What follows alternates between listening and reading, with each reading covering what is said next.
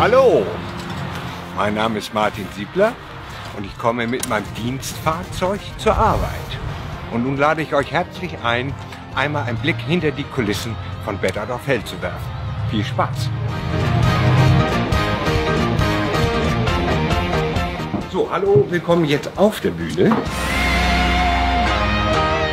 Hier haben wir zum Beispiel einen Bühnenboden, der an die Darsteller eine große Herausforderung stellt, weil wir nämlich eine Bühnenschräge haben, die äh, es nicht leicht macht, drauf zu tanzen. Es gibt überall äh, große, große Feuereffekte. Unsere Fledermaus, verraten wollen wir ja nicht zu viel, aber wir haben sie.